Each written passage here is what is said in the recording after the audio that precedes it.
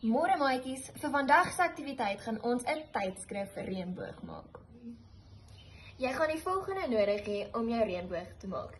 Die kleure van jou reënboog wat jy uit die tydskrif uit gaan skeer, maak seker dis 'n uit tydskrif, gom en jou prentjie wat jy aan die einde van die video kan kry om af te trys of self te print.